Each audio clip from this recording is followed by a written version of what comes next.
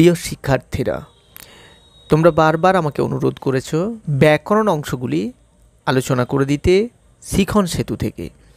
শিখন সেতুর ব্যাকরণ অংশের প্রশ্নপত্র আমরা পাচ্ছি আটষট্টি পৃষ্ঠা থেকে, পৃষ্ঠা নম্বর আটষট্টি, সেখানেই ব্যাকরণ অংশের প্রশ্নপত্র রয়েছে। সেখান থেকে আমরা ফার্স্ট সামেটিভের জন্য প্রথম পর্বে আলোচনা করছি, পরে আবার সেকেন্ড সামেটিভের জন্য আলোচনা করব। এক দশমিক এক সঠিক উত্তরটি নির্বাচন করো। এক দশমিক এক ক্রিয়ার সঙ্গে সম্পর্কযুক্ত হলো, তোমরা নিশ্চয়ই জানো, কারক।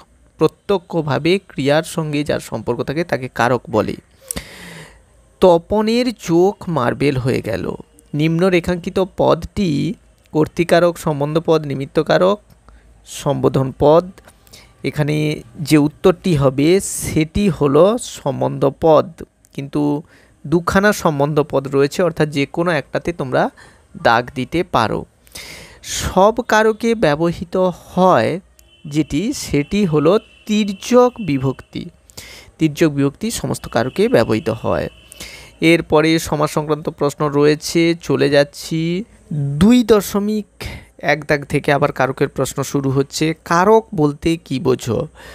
সঠিক উত্তর সংজ্ঞাতে লিখতে হবে, বাক্যস্থ সমাপিকা ক্রিয়ার সঙ্গে অন্যান্য নামপদের যে সম্পর্ক তাকে বলে কারক। আবার বলে দিচ্ছি, বাক্যস্থ সমাপিকা ক্রিয়ার সঙ্গে অন্যান্য নামপদের যে সম্পর্ক তাকে বলে কারক।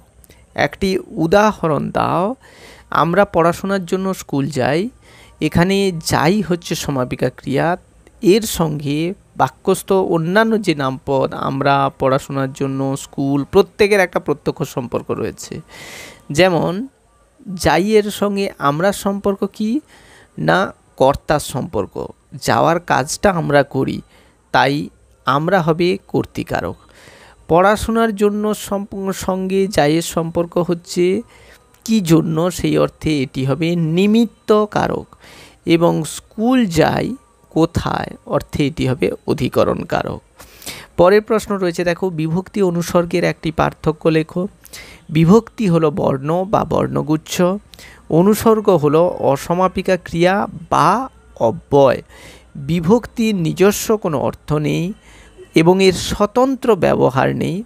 অনুসর্গের নিজস্ব অর্থ এবং স্বতন্ত্র ব্যবহার আছে। কে, রে এ তে, র এর অন্তস্থ, এরা হলো বিভক্তির উদাহরণ। আর অনুসর্গের উদাহরণ হলো জন্য, নিমিত্ত, থেকে চেয়ে ইত্যাদি। এরপরে সমাসের প্রশ্ন আছে আচ্ছা ব্যতিহার কর্তার একটি উদাহরণ দাও। ব্যতিহার কর্তা একই কাজ, দুজন কর্তা পরস্পরের বিরোধিতায় সম্পন্ন করলে তাকে ব্যতিহার কর্তা বলে। যেমন রাজায় রাজায় যুদ্ধ হয়। যুদ্ধ হওয়া একটাই কাজ, দুজন রাজা পরস্পরের বিরুদ্ধে করছে বলে সেই রাজায় রাজায় হবে ব্যতিহার কর্তার উদাহরণ।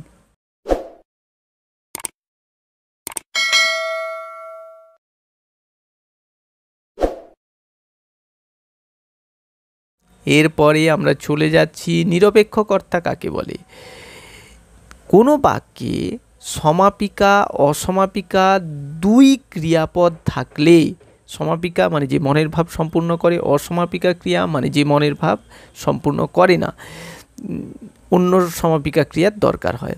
তো কোনো বাক্যে সমাপিকা, অসমাপিকা ক্রিয়া দুটি ক্রিয়াপদ থাকলে অসমাপিকা ক্রিয়ার কর্তাকে নিরপেক্ষ কর্তা বলে। যেমন, সূর্য উঠলে পদ্ম ফোটে, এখানে উঠলে হচ্ছে অসমাপিকা ক্রিয়া। কার ওঠা? না, সূর্য। তাহলে সূর্য হবে নিরপেক্ষ কর্তার উদাহরণ। পরে তির্যক বিভক্তি বলতে কি বোঝো? যে বিভক্তি সমস্ত কারকে প্রযুক্ত হয়, তাকে তির্যক বিভক্তি বলে। যেমন, এ বিভক্তি। গ্রামে লোকে সর্পে ডরি, পুজোয় মা বিষহরি, খড়গে, ছাগে কাটে লোকহিতে। এই বাক্যটি ভালোভাবে লক্ষ্য করলে তোমরা সমস্ত কারকে এ বিভক্তির উদাহরণ পাবে। কারক সংক্রান্ত আলোচনায় তোমাদের এগুলি বারবার করে দেখিয়েছি। এরপরে সম্বন্ধ পদ ও সম্বোধন পদের পার্থক্য কী? সম্বন্ধ পদ সর্বদা র বা এর বিভক্তি যুক্ত হবে। কিন্তু সম্বোধন পদ সর্বদা শূন্য বিভক্তি যুক্ত হবে। এই বিভক্তি দিয়েই এদের চেনা যায়। আচ্ছা এরপরে কারক থেকে প্রশ্ন আছে, বাংলা ব্যাকরণে অনুসর্গ ব্যবহৃত হয় কেন? সংস্কৃতের মতো বাংলায় কারকের সঙ্গে বিভক্তি নির্দিষ্ট নয়, কারণ বিভক্তি সংখ্যায় কম হওয়ায় অনুসর্গ দিয়ে সেই অভাব মেটাতে হয়। তাই বিভক্তির অপ্রতুলতা মেটাতে বাংলা ব্যাকরণে অনুসর্গ ব্যবহৃত হয়। পরের প্রশ্ন চলে আসছি, মুখ্যকর্ম ও গৌণকর্ম কি? কোনো বাক্যের প্রাণীবাচক কর্মটিকে গৌণকর্ম, অপ্রাণীবাচক কর্মটিকে মুখ্য কর্ম বলে। মুখ্য কর্ম অপ্রাণীবাচক বা বস্তুবাচক হবে, গৌণকর্ম সর্বদা প্রাণীবাচক হবে। মা শিশুকে চাঁদ দেখাচ্ছেন, এখানে চাঁদ হলো মুখ্য কর্ম শিশুকে হলো গৌণকর্ম। সম ধাতুজ শব্দের অর্থ কী? সমান ধাতু থেকে উৎপন্ন। সম মানে সমান ধাতুজ মানে ধাতু থেকে উৎপন্ন। সমান ধাতু থেকে উৎপন্ন বলে কে বলা হয়? সমধাতুজ এবার উজ্জ্বকর্তা কাকে বলে?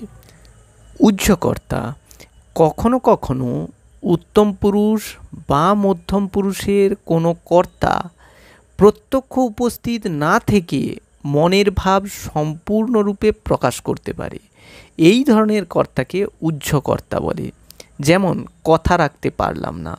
এখানে, আমি কথা রাখতে পারলাম না। অর্থাৎ উত্তম পুরুষ আমি অনুপস্থিত থেকেও মনের এই ভাব প্রকাশ করছে বলে একে আমরা উচ্চকর্তা বলব।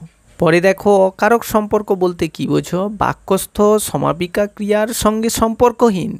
কিন্তু অন্য নামপদের সঙ্গে সম্পর্কযুক্ত এমন সম্পর্ক কি বলা হয়? অকারক পদ। যেমন, আমার বই আনতে ভুলো না। এখানে, আমার শব্দটি বইয়ের সঙ্গে সম্পর্কযুক্ত। আমার সঙ্গে ভুলে না যাওয়ার সম্পর্ক নেই।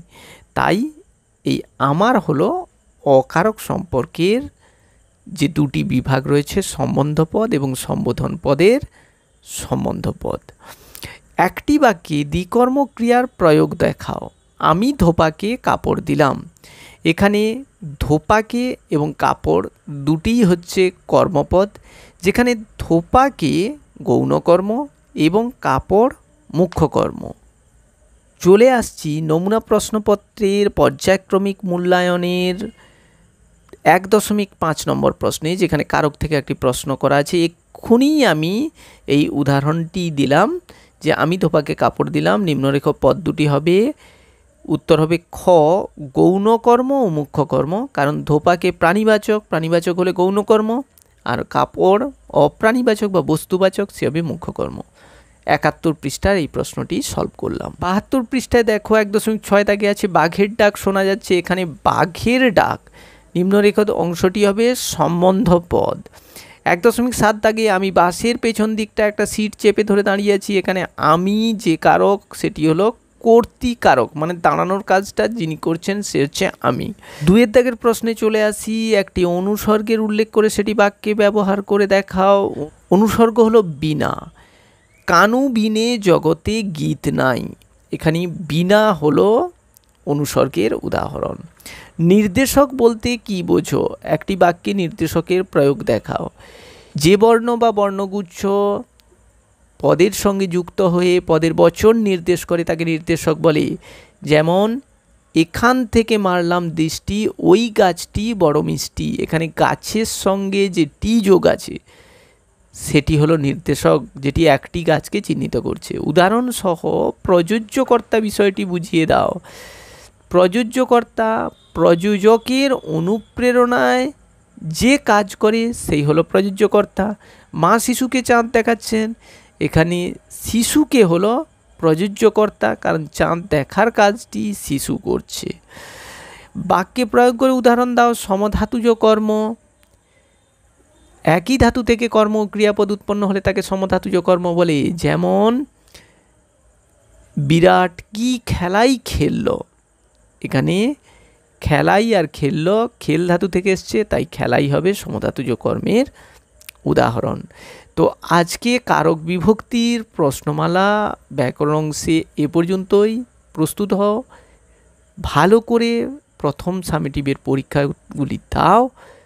আবার দ্রুত হাজির হব পরবর্তী ভিডিও নিয়ে। ধন্যবাদ।